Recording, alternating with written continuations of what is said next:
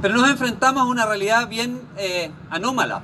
Nos enfrentamos a la realidad de ver que eh, una industria dinámica como es la industria eh, de la aviación ha permitido que con la competencia que se ha dado, la entrada de nuevos actores, el crecimiento obviamente de la gente, hayan bajado 43% el precio de los pasajes aéreos en, el último, en la última década. Pero al mismo tiempo en que hemos visto caer 43% el precio de los pasajes, hemos visto subir el precio de las tasas de embarque.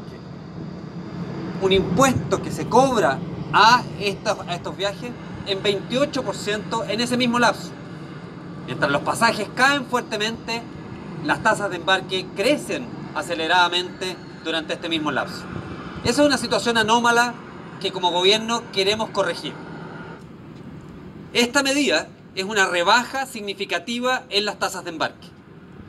Vamos a hacer una rebaja inmediata de 20% en las tasas de embarque nacionales, que va a ser seguida de bajas adicionales, el 2019 de 10% adicional y el 2020 de 10% adicional, de tal manera de que en términos nominales vamos a haber bajado 20, 10, 10, 40%, que al 2020 eso se va a traducir en una rebaja, como esto sigue subiendo por, por el IPC, en una rebaja de aproximadamente un poco más de 30%.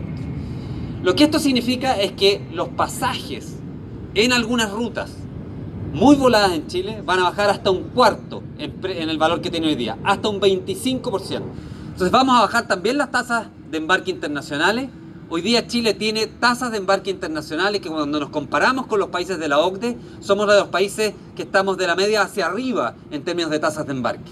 Tenemos 30 dólares en la tasa de embarque hoy día internacional y cuando vamos a bajar esta tasa la vamos a retrotraer a lo que era el 2006, que es 26 dólares. Eso inmediatamente.